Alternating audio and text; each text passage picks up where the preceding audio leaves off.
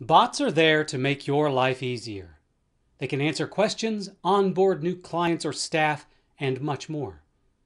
And when you combine bots with one of the most powerful collaboration communication tools on the market, you can create an incredible platform.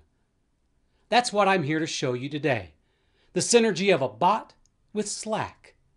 The bot in question is Donut. Let's install Donut and see how it's used. To install Donut, log on to your Slack interface of choice and click the plus button under Apps. In the resulting window, type Donut in the search field. When Donut appears, click Install. Your default web browser will open to the Donut app page. Click Install and, when prompted, click Allow to give Donut the proper permissions.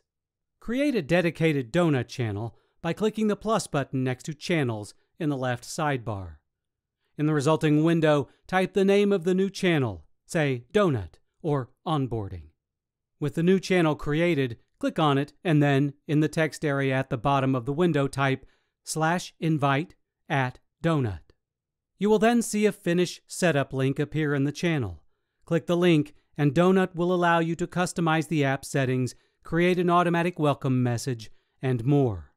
Click the Yeah, Set It Up button, and a web page will open where you can customize the welcome message for all new members of the channel.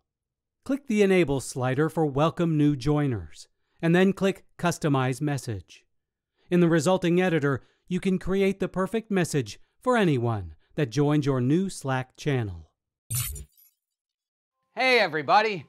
Don't forget to like this video and subscribe to our TechRepublic YouTube channel. And be sure to check out more how-to videos at How to Make Tech Work.